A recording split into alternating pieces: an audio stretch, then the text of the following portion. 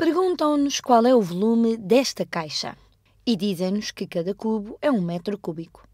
Então, apenas como lembrete, o volume é a medida de quanto espaço algo ocupa.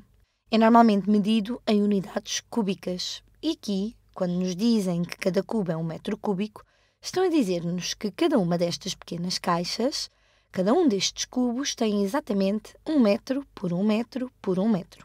Estamos em três dimensões agora. Estamos a falar de três dimensões, 3D.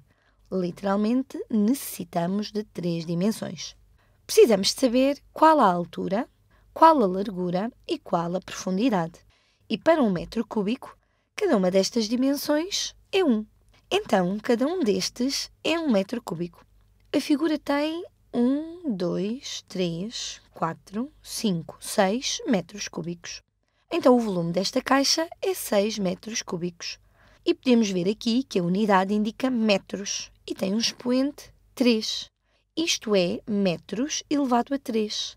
Podemos ver isto como metros vezes metros vezes metros, ou metros cúbicos. Isto é 6 metros cúbicos. Vamos fazer mais alguns destes. Qual é o volume desta figura? Esta é bastante interessante. Temos, vamos ver se os conseguimos contar. Então,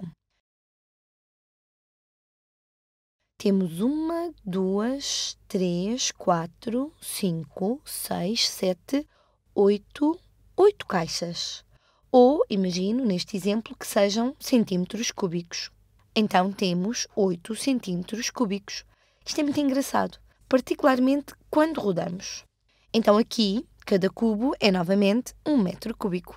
Então temos 1, 2, 3 metros cúbicos. 3 metros cúbicos. Vamos fazer mais um destes. Eu gosto daqueles que têm estas figuras estranhas que temos que rodar para conseguirmos ver todas as caixas. Então, cada um destes é um metro cúbico, o que significa que em cada uma das dimensões, cada uma destas caixas tem um por um por um metro. Mas quantas caixas estão lá? Vamos ver.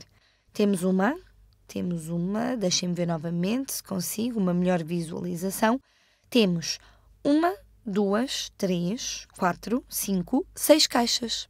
Então o volume total é 6 metros cúbicos.